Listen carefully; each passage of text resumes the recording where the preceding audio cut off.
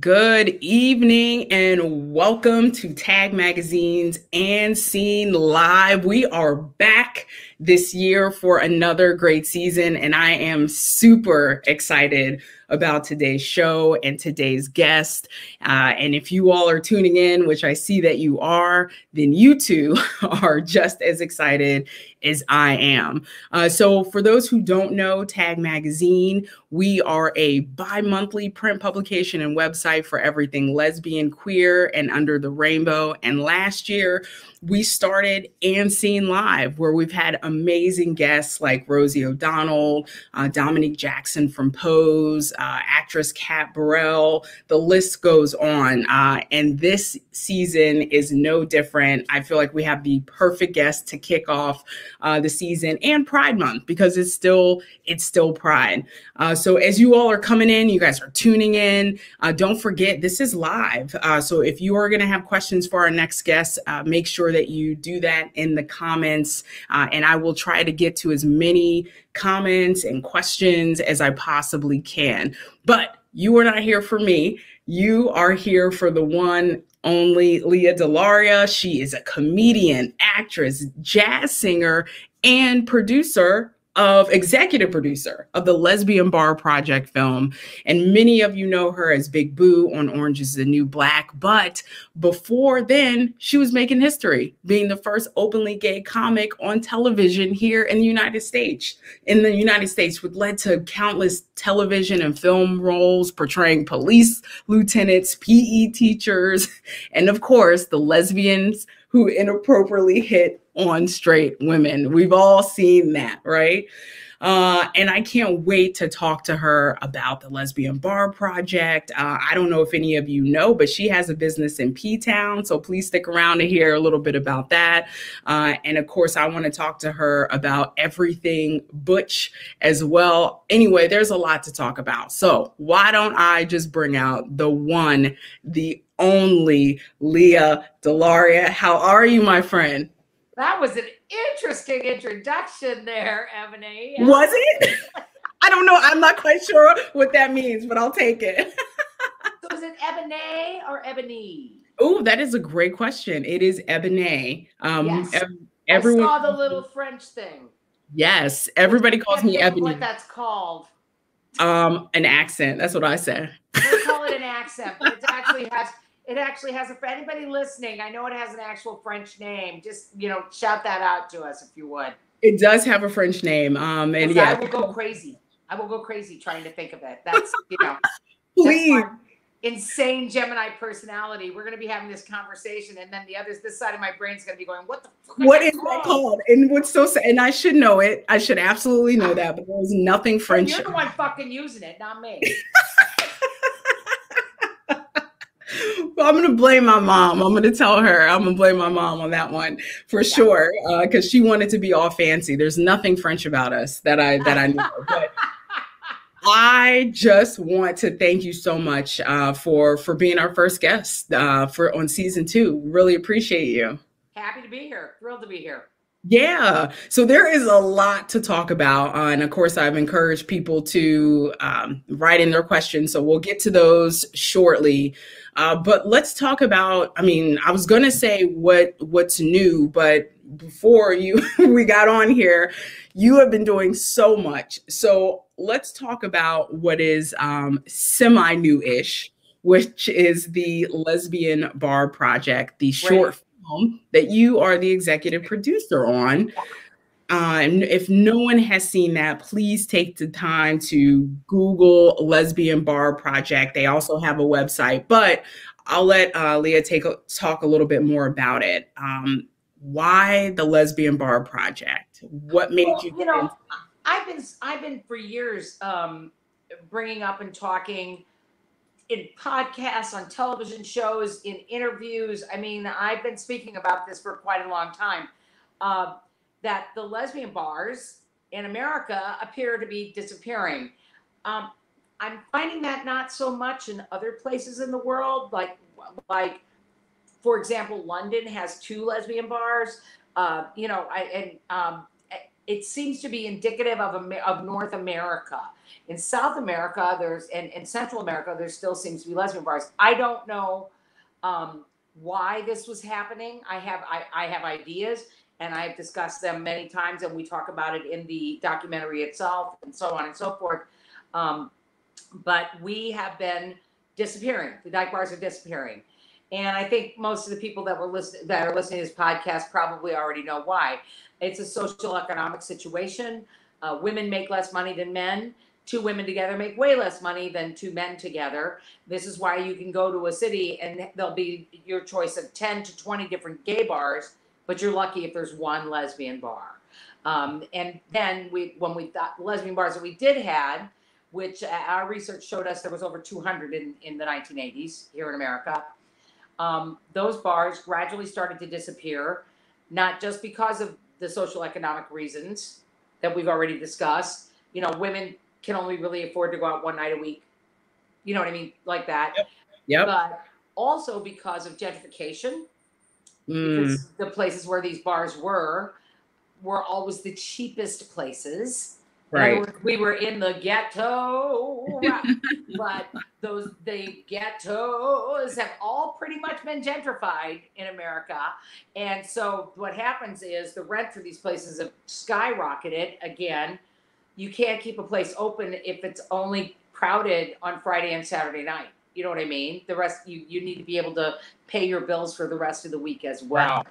So the rent prices go up. Uh, the business the business wasn't there. Add to that the fact that societal perception of queers have changed. We don't necessarily have to just go to a gay bar. We can go to any bar. You know, we've we've we've won in terms of opening the hearts and minds of people to who that gay people are human and we and we have a right to exist. You know, right? That's about as far as we've gotten. We got a lot more to do, but you know, so they they can go they can go anywhere and drink, and then also there's this this queer perception um, where a lot of the young dykes don't want to party with just dykes. They're like, why do I want to just be in a lesbian bar when I can be like mm-hmm. with everybody in the community? Da, da, da, da, da, da, da. And of course, my response to that is that sounds really, really internalized homophobic to me. That sounds mm. like you've heard some shitty things about dyke bars and you yeah. have preconceived notions about dyke bars and you're not going to them because dyke bars are all inclusive and and have been for a really fucking long time. You know what I mean? Yep. dyke bars have been more inclusive were more inclusive than any other bar in the, in the queer spectrum way before everybody else was. You know what I mean? So the, all those things combined, and the bars are disappearing. So, um, you know, as I said, I've been talking about it for a long time. Well, Elena and Erica uh, basically got together the idea of doing the Lesbian Bar Project, and they came to me because they knew I'd been talking about it. Um, and of all the uh, the lesbians, if you want to say, uh, I, which I never call. I'm more of a dykon. Ooh, I like that word. but uh, of all the lesbians that are out there, I really am the person. I have the brand that fits in with the dyke bar, you know, idea. Yeah. You know what I mean? Um, I've always been sort of the how should we put it the bad the bad boy of lesbian comedy and the you know like you know what i mean uh, the idea of being politically correct and following the concept of political correctness has uh, uh, is something I have fought against my entire career as an openly dyke comic. Um, so it seemed like the right fit to reach out to me, and they did. And I've been on board ever since because I think safe spaces for queer women are important, mm. very important. And as they disappear, some of these younger dykes who don't understand the history and how hard we fought to be able to have this place to go to, you know, as they disappear and when they find that they aren't there anymore, they're going to miss them. They're going to they're going to see how difficult it is without a safe space for queer women. We need oh, that space. Hands down, there's nothing like a queer women space. Agreed. Agreed it, it, it's just nothing like it and it's so important and i'd i'd hate to see them die out uh, and ex- miss that experience. I can't even imagine New York City without the cubby hole. Yep. You know what I mean? Or Absolutely. Hudson's. Or Yeah. Absolutely. Brooklyn. I can't imagine it. I now have to live San Francisco without the Club Lex, and that's a, I you know I I I've- been to San Francisco I guess maybe four times since the Lexington Club closed, and it's horrifying. You know, it's just bad. Yeah, It was always my I always was gonna go. I do what whatever my job was, whether I'm filming or I'm the grand marshal for the gay pride parade or you know whatever. I always know that I'm gonna end my night at the Club Lex when I go to San Francisco. It closed. It closed for all the reasons we are stating here. The Yep. rent sky and the rent skyrocketed, and that was the end of the Club Lex. And that was an institution in San Francisco for a very long time. You know, Yeah. and the same the same thing with the flame in san diego and all these different bars that i can name that have just gone see ya they're just gone Yeah, it's it's crazy. So, um, like I told you before, I'm here in Washington D.C., and uh, we had the longest running lesbian bar for a while, Phase Phase One, here in D.C. And I, I feel like everything you described, uh, as far as uh, gentrification and obviously, you know, economic status, things like that. I think a lot of everything you describe is a big. gonna have a fight with wild women west in san francisco about the longest running lesbian bar Well, they were. That's why I said they were. 40, uh, 40 years when did they open I think it was 40 years in 2015. So what is that math here? Uh, pooh, what is that? Would that 19, would that be like 1975-ish? yeah Something. to, yeah 1975 yeah They I were, they were. They're kinda not anymore. They were. Yeah, but but I think what I'm saying is Women Wild West, I believe, opened in Bernal Heights in San Francisco in the early 70s as well. See, this is the this is part of it. This has been to me part of the problem. Yeah. We don't we all need to communicate more. Do you know what I mean? we all, do. like, we all now that we have the internet, like back in those days, I get it. They probably didn't know that Women Wild West was open in San Francisco, right? And over there like that. But now, now I think, uh, and what one of the things the Lesbian Bar Project is doing, it is networking between these dyke bars. Like they're all coming together and getting to know each other and support each other. Do you know what I mean? Exactly. And becoming a real community of dyke bar owners. And know, we I- need that. I think it'd be really fun to, to do something. I, I don't know. I, I don't, I'm spitballing right now, but it'd be really fun to do something where we have like the whole dyke community, you know, start like we give out an award every year, vote on what's the best dyke bar in America, what's, you know, all that kind of stuff. It would be really fun and do it, do the event at every dyke bar in America and it would just change every year. It would take Listen. 21 years to get it to, to go the full circle. But I'm down. Listen, everybody heard it here first. Okay. Ebony Bell be in Lea? DeLaria. Wouldn't it be fun? It'd be so fun. It would be a lot of fun. I mean, I don't think that's a bad idea at all. I'm gonna be, um, you know, I'm gonna be following up with you now, right? Yeah, baby. All right, just, just making sure, just making Always sure. to Um, work with another butch on anything. hey, I love it. Yes, and uh, but I want to get to that word for sure. But I want to know about what was your first lesbian bar experience? Where did you go? Well, I grew up in a little town called Belleville, Illinois, Okay, um, which is a suburb of St. Louis, Missouri. I was on the Illinois side of the river from St. Louis. And between Belleville and St. Louis is a town called East St. Louis. Um, lot, many, many people know it because that's where Flo FloJo is from and Miles Davis is from, right? Um, East St. Louis is essentially a, a huge black ghetto that sprung up around St. Louis and the work that was in St. Louis Mhm. as African Americans migrated from the South to parts of the North for work, right? So, um, in East St. East St. Louis was a four o'clock town. Like everything stayed open until four o'clock. Whereas St. Louis closes at two. Belleville, where I live, if they made it to eleven, we were lucky. You know, it was a tiny little town. So um, there were there was a little hub right on the edge of East St. Louis, uh, under the bridge, uh, where there were several gay bars. Well, most notably was a place called Faces, which was a huge dance club, blah blah blah, you know, Mhm. around it. Right around the corner from Famous Faces was this tiny little dyke bar called the Red Bull. The Red Bull. Uh, yeah, the Red Bull. So when I was 16 in Illinois, you could enter a bar at the age of 18. You could drink beer and wine. All you needed was, you know, a driver's license that said you were 18. So I had a fake license when I was 16 that said that I was 18, um, which wasn't that far of a stretch. And also remember back then, you didn't we didn't have pictures on our driver's license. We just had information. So if your your height matched, your hair matched, your eye color matched, like you were that, in. you you were basically in. If they were concerned, they might ask you a question about it. So all you had to do is memorize the card.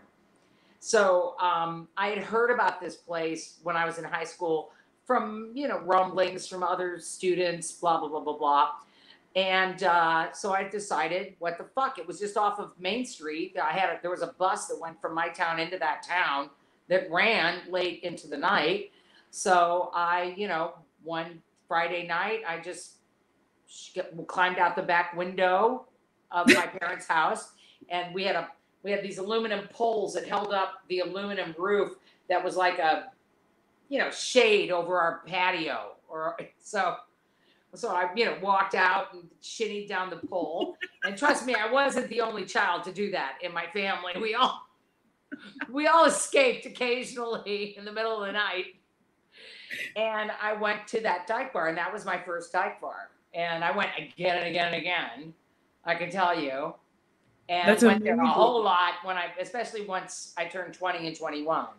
So I was at the Red Bull, I was at Faces, I was at all the bars. There was a place called Middle of the Road uh, that was a lesbian bar that um, started out, and this is back when they would actually segregate.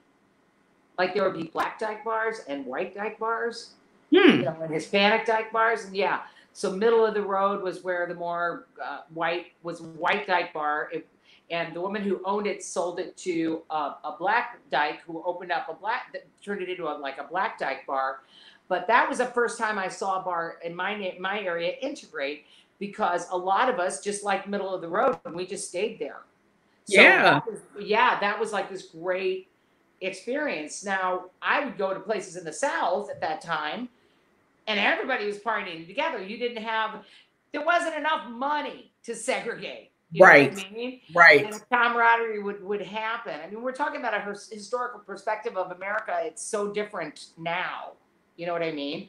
But back then, segregation was a real, a real thing, a ridiculous real thing, and it did put its rear its ugly head within our queer community.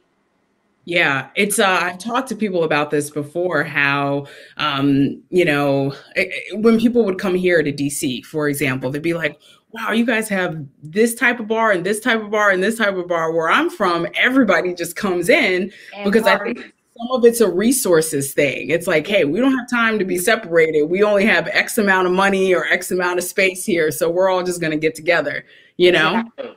And that's I find that, and I found that when I started performing in the early '80s, I found that most, especially in the South, when I would go to places to perform in the South, it was all men, women, you know, men, women, trans, black, white, Asian, brown, everybody partying together because this was the bar.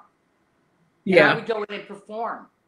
And I always loved that, by the way. That always made me, you know, really happy. San Francisco, same thing. Very rarely, what like I, I came, I came out as a, a performer in San Francisco. In the city of San Francisco, even though I mean there was a million places to go to, everybody partied together. There was no none of this. There was no restriction, as it were. Yeah, definitely. And uh people have and, noticed and all of it, everybody together. Nobody said you can't come in here. You're you're a woman. You can't come in this gay bar. Nobody ever said that. right. We want any Yeah. bags in our dyke bar. Nobody ever said that. Yeah. No, no, no, no. The black bar is down the road. Nobody ever said that in San Francisco ever. Yeah. So it was one of the I- reasons I loved being there. Yeah, I have to, and I also have to just say that people have taken notice of the uh, your name.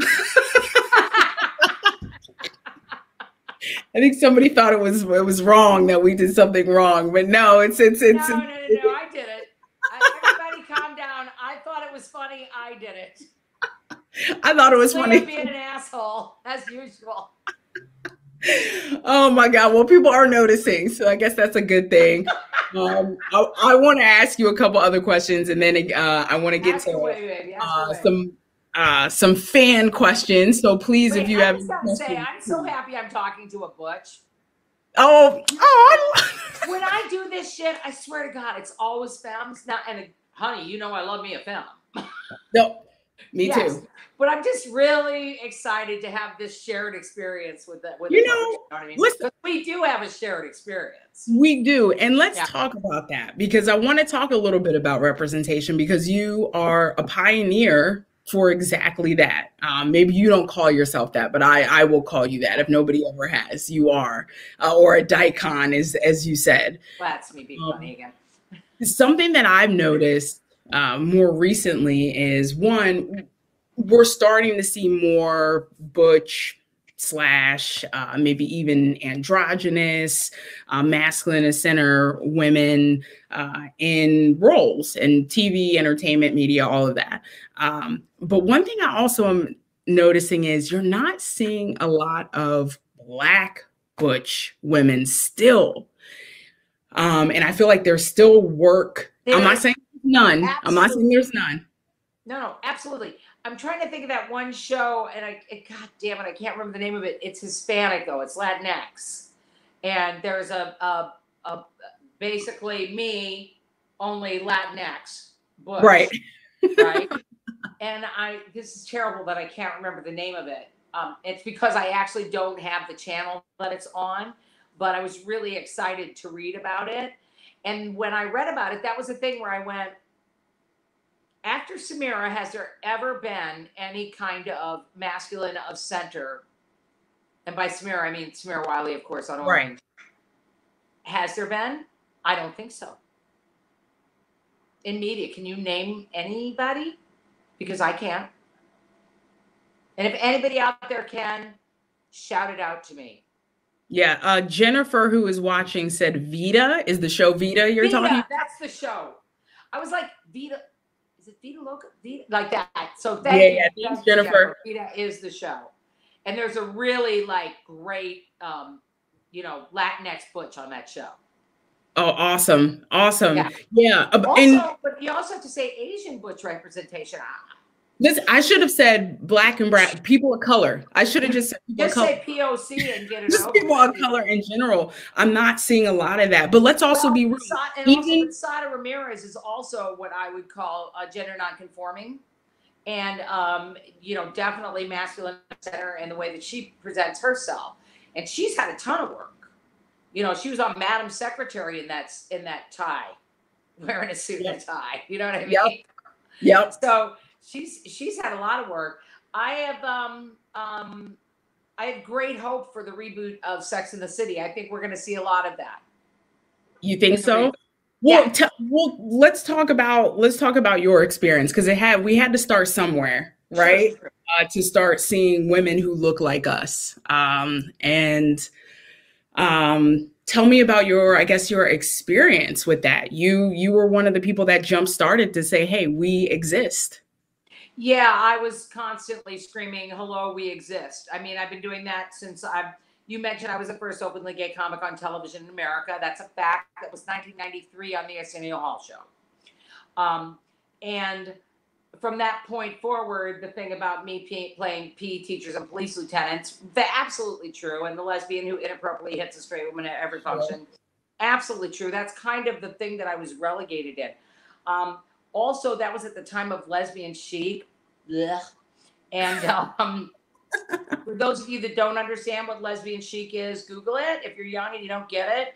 But I can just basically give you the like a two sentence description. Lesbian chic is when it became really hip um, in Hollywood media, um, pop culture to um, access lesbianism, except they weren't really accessing lesbianism Uh, they were accessing that male fantasy of jerking off to two women doing it. Mhm. That's what Yep. it was all about. So when they made movies like, for example, Bound is the first one that I can think of, right? That came out of Lesbian Chic. So yeah, it was written about a, a lesbian couple, but it was written by two men. It was directed by a man, and the lesbian couple were two straight women. So we were completely erased from the narrative. Um, Yep. They asked me to do a bit part in that movie, and I said no, which happened to me a lot. I, I, I did it a couple of times before I realized what was going on. That they were using me to legitimize their bullshit. And when I realized that I didn't want to didn't want to be used that way anymore, I wanted to be the person speaking out against it, which is Mm. what I started doing. So um, we were completely erased from our own narrative, and the world started to view us. And this happened in the L word as well, and a couple of other things that I can think of. Um, they saw us as how we, how straight men wanted to see us, and that's how that's how they saw us, as a mere sexual fantasy you know, and they didn't see us as real living people. Now, the backlash of lesbian chic gave us things like Watermelon Woman, which is a fantastic movie that came out in the 1990s, in case no one's ever seen it. One of my Um, and. Go Fish, another fantastic movie that came out Mhm. in the 1990s that you know nobody ever that that like people may not know, but they should see. Um, what makes those movies stand out to me more than let me think of some other movies at that. Well, we'll, we'll go to Bound again. Let's just say Bound again. But there were some other movies at the time. Those movies were written by lesbians, directed by lesbians, and lesbians portrayed lesbians in those movies. Those were movies that really told our story. Um, so now we find ourselves, and you know, and I've watched the pendulum swing back and forth between lesbian representation and queer representation and no representation. I've watched it go back and forth my whole career. What so we went into a place where gay men were really hot. Will and Grace uh, gave us that. Uh, RuPaul gave us that. I mean, it was like gay, really hot. We weren't seeing much lesbian representation, and if we did see it, once again, written by men, directed by men, portrayed by straight women. That's all it ever was. Enter Orange is the New Black.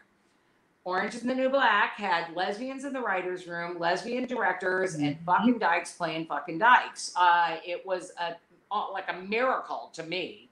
I didn't think would ever happen. So that really changed the face of television, and not just for dykes, for women. You know, Correct.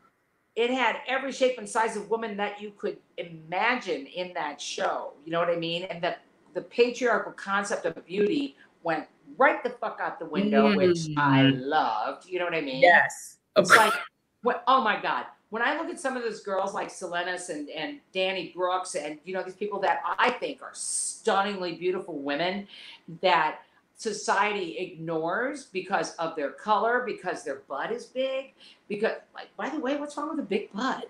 And you know what I mean? It's like and you know what society would would probably focus on would be you know Preeps and and Taylor, you know, and and uh, and a lot of dykes did it too.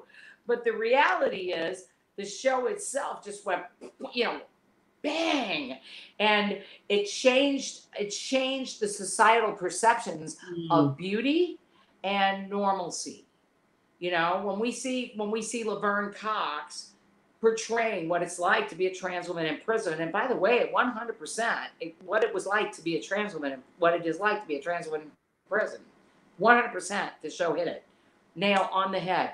Um, we see we see the dialogue being changed, we see the narration being changed, and we Mhm. and then crash bang, boom, we see these butches coming out on different shows and lesbians again being portrayed by lesbians and directed by lesbians. That's a big fucking deal. Right? Yeah. Now that pendulum is starting to swing back and has been for a few years. We're still represented, but you're not seeing that butch representation as much anymore. It's the pretty girls again. And a lot of the roles are being portrayed by straight women. I would say 90%. Um, and I no more no more lesbians in the writers' room. Not seeing any dykes in the writers' room. Not seeing dykes directing.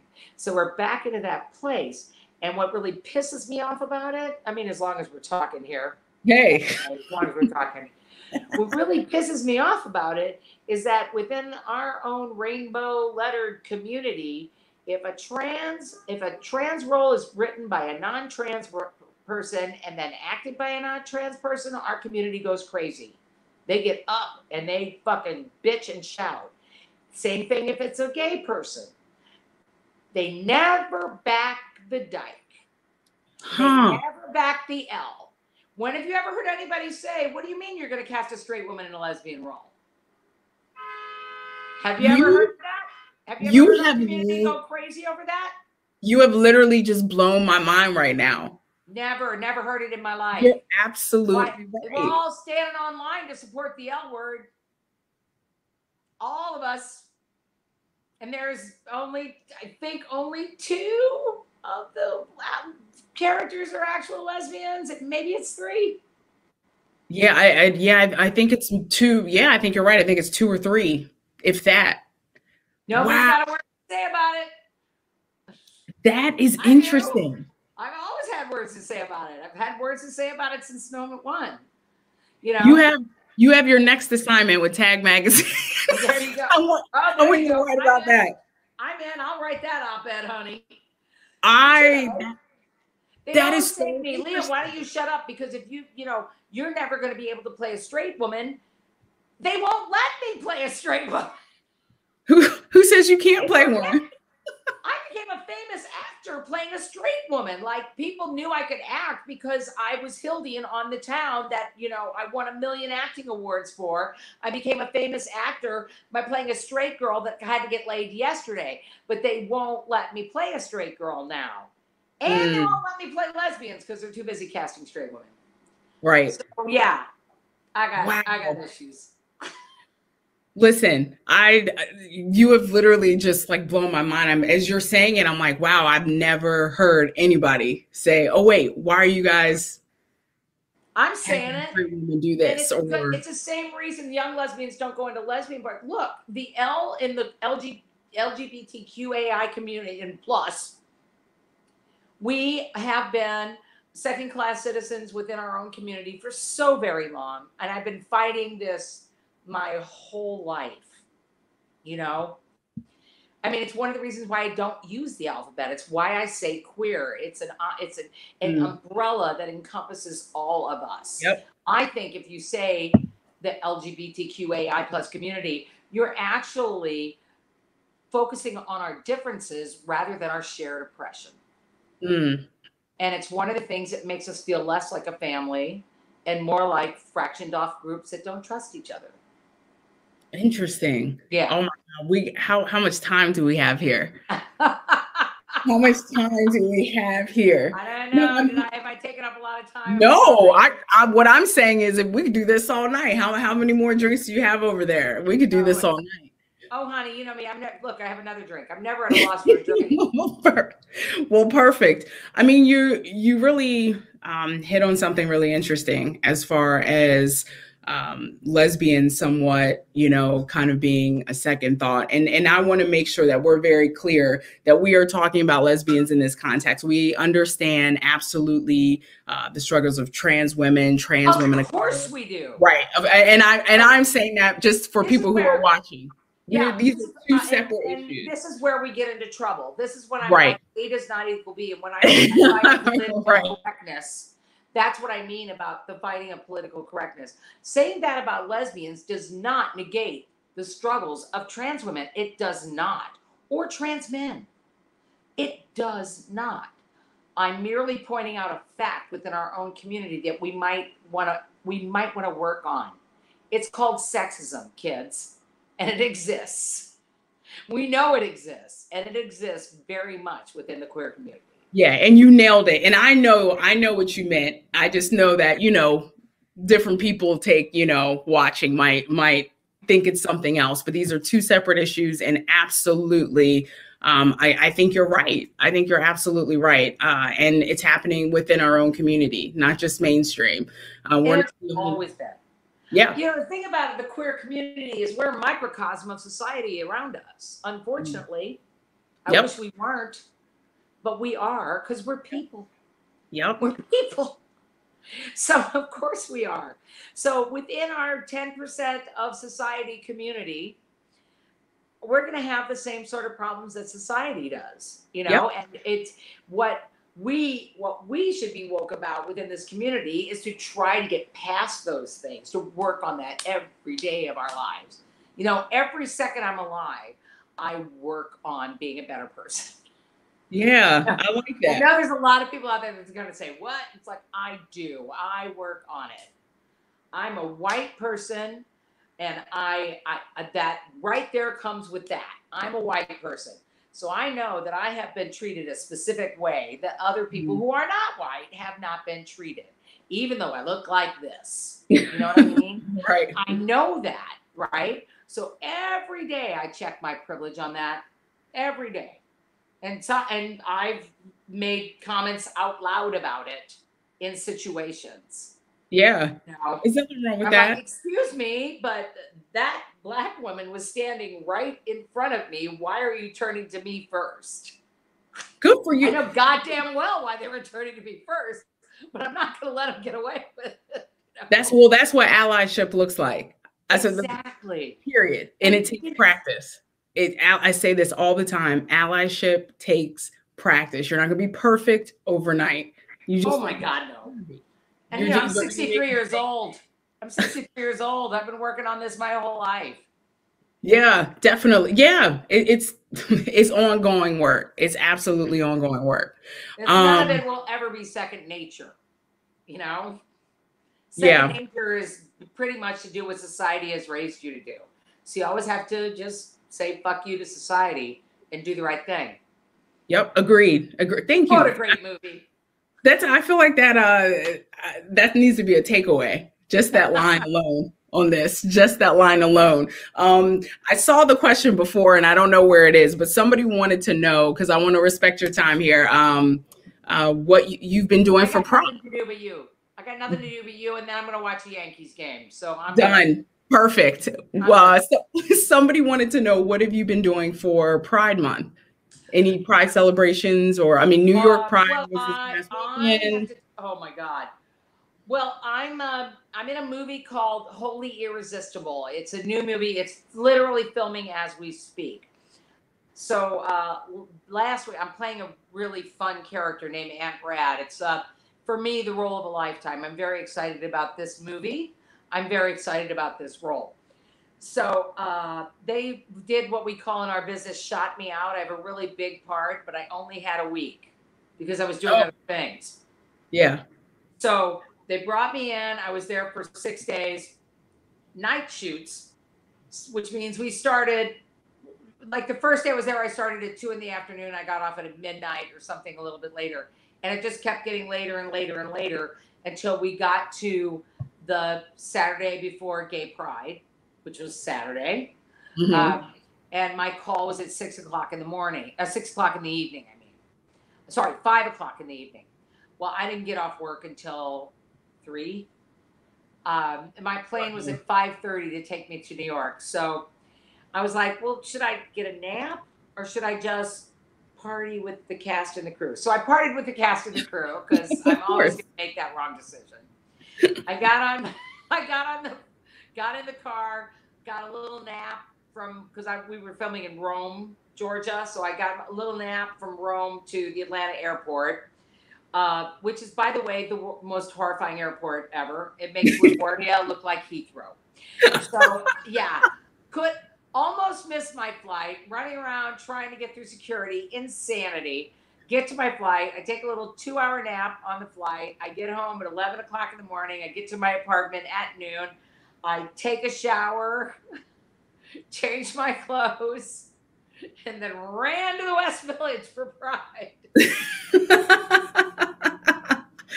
you are committed. Point, oh yeah. At some point, it was like ten o'clock at night or something, and somebody asked me something like they had to get. I'm tired. I have to get up the next day. And I was like, "You're tired."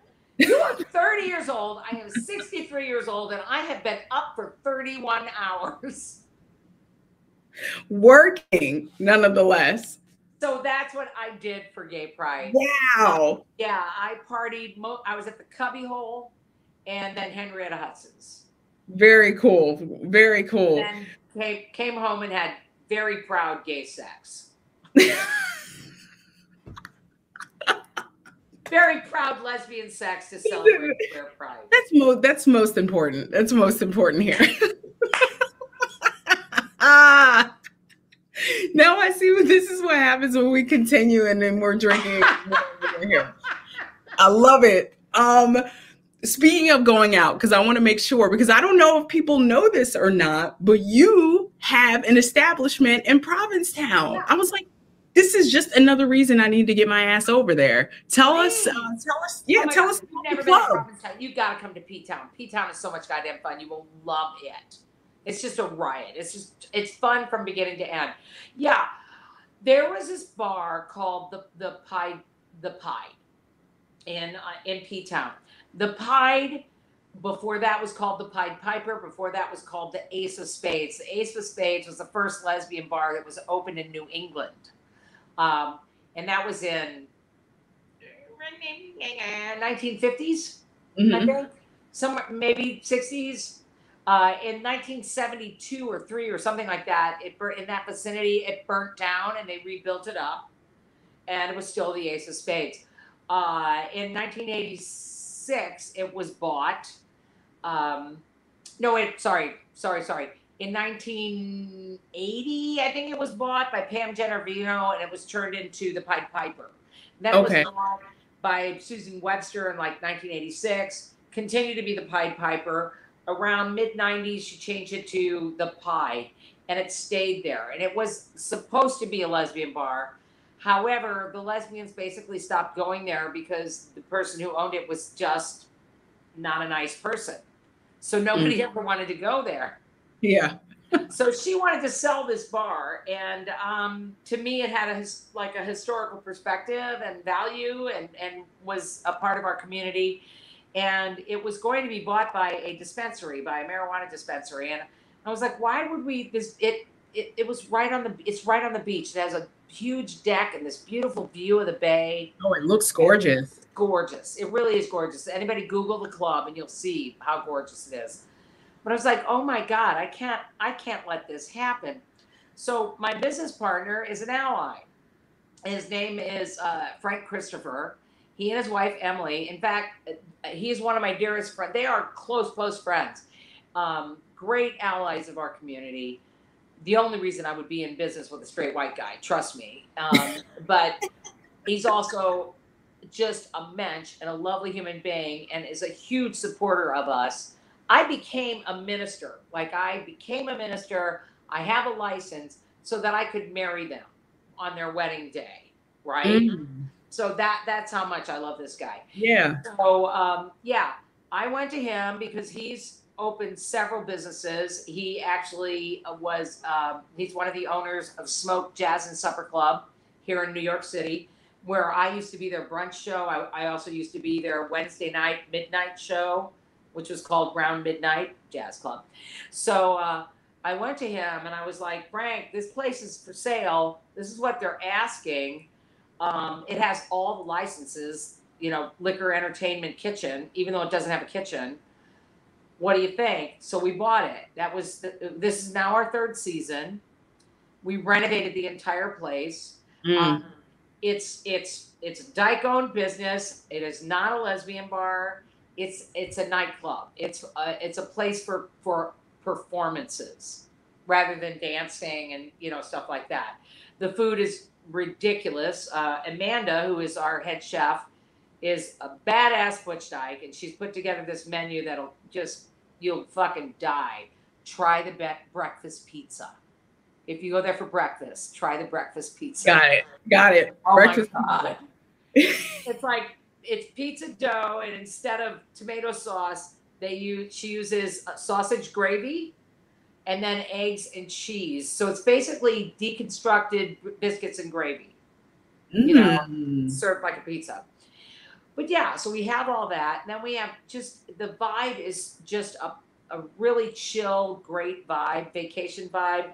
It's not a place, a scene where you go to like jump and down and get crazy drunk and scream. No, it's more like look at the pretty water, relax, drink drink a Babs Johnson Pink Flamingo, uh, which is our signature drink, which is basically a, a froze what made with tequila rather than vodka. We add a little grenadine, and then we serve it to you in a pink flamingo floaty, and you get to keep the floaty. Oh my god, I want to be there now. The way that you're painting, painting this picture is like torture right now over here. we, always ha- we also have the orange is the new black, which is essentially an orange margarita that they serve straight up in a martini glass with um, black black salt rim yeah. You know, the yeah. volcano black salt. Yeah, yeah. So it's an orange is the new black. That's also Very a really cool. fun signature drink. And yeah, and the um, I I'm going to start performing there every Thursday night starting July 22nd. So I'll be there from July 22nd at least through September, depending on work, but possibly all the way till November. All right, I'm going to I'm I'm coming. Great. I'm coming, I'm coming, I'm coming between July 22nd and November.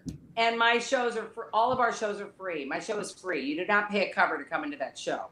You'll oh, come oh, and see me perform. You can buy food and you can have drinks, but um, it's a different kind of vibe. We're not looking for that pay 50 bucks to see a show situation. We're looking for that more like come on in and have a good time. And yeah, guess what? Here, here, here's Lea DeLaria, and you're literally getting to see her for free. Oh, I love that. And it's called The Club. The Club. The Club. You all, uh, it's club ptown.com is the website to be exact. If anybody wants to come with me between July 22nd and November, please join me. Um, I've been wanting to get to P Town forever, and I and I think you are going to be my excuse, my friend. Every day you show up, and I will show you P Town because oh. I know P Town. Let's do it. I'm I'm dead serious. So I'm I'm gonna make that happen. I need to treat myself to a nice vacation. Uh Love especially it. Love it. Yeah, yeah. Stacy Williams Iger. Hi Stacy. She says P Town road trip. Let's do it. I'm in, Stacy. Let's go. so I want to make sure that everyone knows about this indie film you have going on as well before we leave. You have been a busy, busy person. Um, so in addition um, to the film you were talking about, um, filming during Pride, right. you also have this indie film, um, Potato Dreams of America. Tell yeah. us about that. Oh, this this is a very quirky little indie that I love. This is one of the times I get to play a straight person, which is very exciting. Uh, the movie is written and directed and edited by Wes Hurley. Um, it is the story of his life. It is a true story. Wes uh, grew up in Russia. He was born in Russia uh, mm-hmm. uh, under communism and was there when perestroika happened. Uh, and and he and his mother immigrated to Seattle. So this is the story of their life.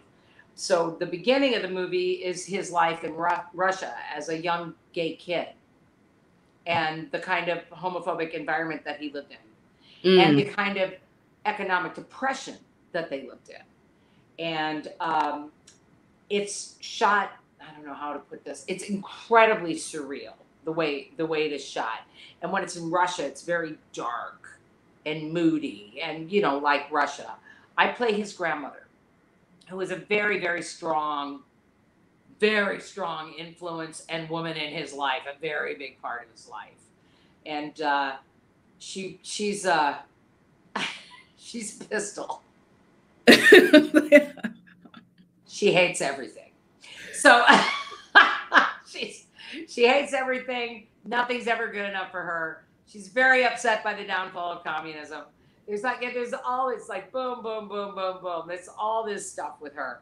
Um, but uh, they then immigrate to America, and I don't want to it's a true story and you're going to be so shocked by it like when i read the script i went oh come on that can't be you know when i read what the real big twist is that i don't want to tell anybody yeah don't tell us and yeah i'm not going to tell you but i did i did you know call the office and went this, this is a fact. This is the truth. And they were like, yeah. And believe me, at the end of the movie, they show the people involved. They show the the actors, and some of them are Dan Lauria, for example, is very well known. I'm well known. There's some some of us are well known, and it shows us next to the real pictures the of real the real people. people. You know, oh, I, mean? love when they do that at the end of films. Oh my god!